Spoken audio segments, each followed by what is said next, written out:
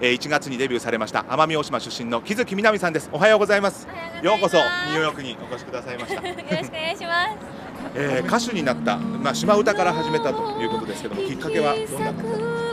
その奄美を離れてしまう歌の魅力に気づいて始めたんですけど、鹿児島市。歌を生で、えーお聴きいただくわけですけれどもどんな歌を歌ってくださいますと島唄を歌う場で一番最初に歌われる挨拶代わりで朝花節っていう歌と、あとは4月に出したニューシングルの誰かのためにを歌います。